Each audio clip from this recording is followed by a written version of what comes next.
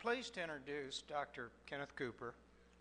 My first awareness of Dr. Cooper was almost 40 years ago when I signed up for a newly offered exercise class, an aerobics class, at the YMCA in Elkhart, Indiana.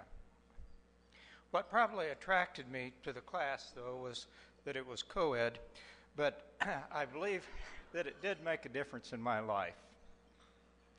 Unlike my father, his two brothers, and my seven male cousins, who all had serious and or fatal heart attacks before reaching my age, I've managed to avoid that problem.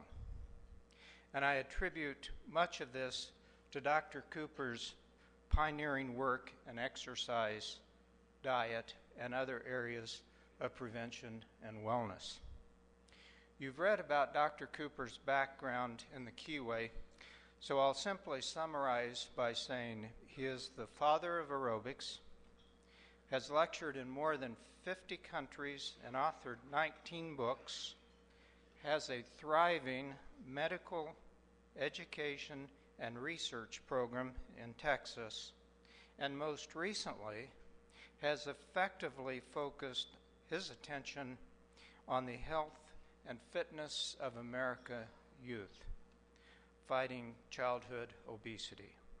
Dr. Cooper, on behalf of the Denver Rotary Club and of people all around the world that have benefited from your work, welcome to Denver. We're honored to have you.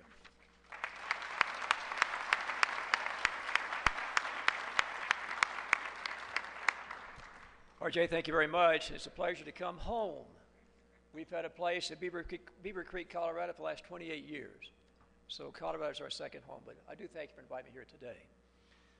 The next few minutes, I want to talk about a new aspect of healthcare reform as follows. In 1950, the cost of healthcare was $12 billion. 1970, $70 billion. In 1990, $700 billion. Last year, $2.2 trillion. Represents some 16 to 17 percent of the GDP. Closest country in the world that spends that kind of money on health care is Switzerland. Also, Germany, 11 to 12 percent. If we could drop from 16 to 17 percent of our GDP down to 11 percent, like the next countries in the world, which say the American taxpayer, 700 billion dollars per year. Too much care, too late. Max Hyman from, Washington, from Boston said this recently. We spend an average of $8,000 per person per year on health care, whereas in Cuba they spend $184 per person per health care, and we have the same life expectancy. Something's wrong. Too much care, too late. I'm afraid, too, that we're concentrating on the wrong type of health care. Now, health in general, medicine in general, is classified in three different areas the prevention of disease, number one, acute care, number two, and disease management, number three all efforts have been on acute care.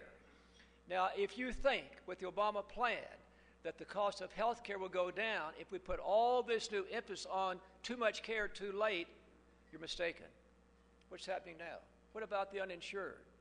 I saw the newspaper yesterday where one of our health, major health centers in Dallas Methodist Hospital System wrote off $80 million last year on people who couldn't pay.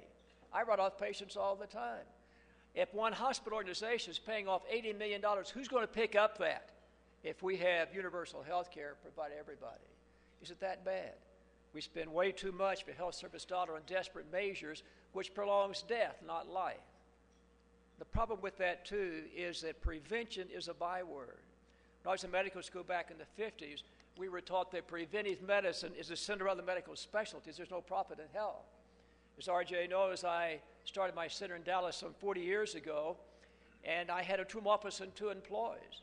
And my critics said that, my supporters said that you can't be successful practicing medicine if you limit your care to taking care of healthy people. We've grown a two office and two employees to some 650 employees, 23 physicians working, 110,000 patients. Why well, I've been so successful?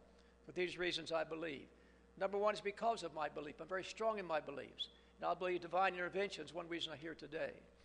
Number two is we've proven that it's cheaper and more effective to maintain good health and regain it once it's lost. And number three, if people realize they have a need, you provide a service, they get the results they want, they'll make you successful in any field. Keep those things in mind. What about preventive medicine? Does it pay? Let me share with you an article in the Wall Street Journal back in June 2009 how Safeway is cutting healthcare costs. My friend Steve Burd, CEO of Safeway, wrote this article. In this, he points out healthcare spending has outpaced the rise in all consumer spending by a factor of nearly three since 1980, increasing our GDP up to 18% by 2009. He goes on 7% of all healthcare costs are direct results of behavior.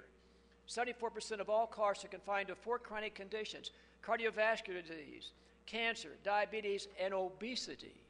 80% of cardiovascular disease and diabetes is preventable, and 69% of cancers are preventable. We pick up cancer every day with our center in Dallas long before it causes any symptoms. We're saving lives every day. And I'll tell you, ladies, this rule that came out yesterday about not having mammograms from 40 to 50 years of age is a terrible mistake. I can guarantee you that because we pick up early cancer all the time and save lives with that. Safeway is healthy. What they do at Safeway, their Healthy Measures program is voluntary and covers 70% of all the insured non union workforce. They're focused on tobacco usage, healthy weight, blood pressure, and cholesterol levels. If they pass all four of those tests, their annual premiums they pay are reduced $780 per individual and $1560 for families. They paid their non smokers some $243 a year for non smoking. What happened? Over the last four years, their increase in the cost of health care has been flat. Corporate America, in that period of time, increased health care expenditures by 38%. On and on. We work with Corporate America. One of our divisions is our, is our Ventures division. We operate some 12 organiz- uh, 20 organizations for Corporate America. We've been able to show once a corporation gets involved in a worksite wellness program, you expect these things to occur. Number one is reduction in cost of health care. We've proven that. Number two, reduction in absenteeism due to disease. People who are physically fit aren't sick as much. Number three, an increase in work productivity when the people get involved in a worksite wellness program. And number four, it helps you recruit the best employees in the marketplace if you can offer them a worksite wellness program. And number five, reduces turnover. Classic example. One of our companies is Vought Aircraft Engineering. They have a subsidiary branched out in Stuart, Florida. And Elmer, Vody, Elmer Doty, who's the CEO, made this statement recently. He said, one that most people don't look at is workers' compensation. In 2005, Vought had 1,270 claims at a cost of 10.5 million. This year, one year later, we reduced our claims 600 and saved five, $5 million on reducing worksite, worksite programs there. So there is a cost, there is a benefit from that. Preventive medicine, acute care, and finally, disease management. Which, what am I talking about?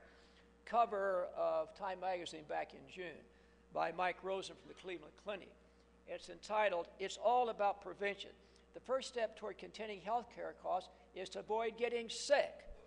The problem that we have in medical care in America today is we have no disease management. We have diabetes, high blood pressure, heart disease, all these various things, obesity. And what happens, I, as physician, give you a recommendation, put you on medications to control those problems. Number one, they don't take it. Number two, they don't follow recommendations. what happens? They're back in the hospital with a diabetic coma, something of that type. So, what we've found in America is that people are treated, put in the hospital, discharged, and two weeks later they're back in. And that recurring thing is an extreme cost of health care.